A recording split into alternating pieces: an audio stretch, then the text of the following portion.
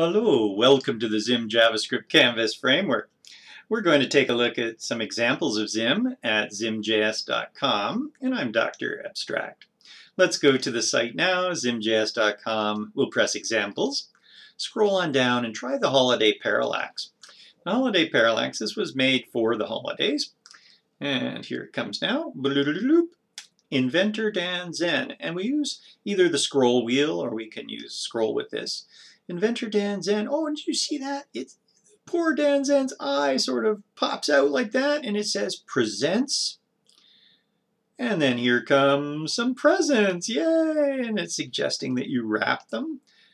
Plidink, plidink, and then we can deliver to a shrink ray. Oh, that's crazy. So those presents, you see that? Those presents go into a shrink ray and come out, and then we send them to our social media places. Happy sharing! from Dan Zen and Zim Parallax. Ooh. Are you ready? This is my favorite part, top. Ooh, I don't have to do any work. It just goes and goes. Whee!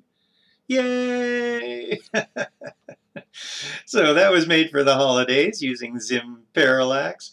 Come on into Zim at zimjs.com. You can check out that example and also learn how Parallax works and make something yourself. It's a lot of fun. Ciao, I am Dr. Abstract. Have a great day or night. Bye.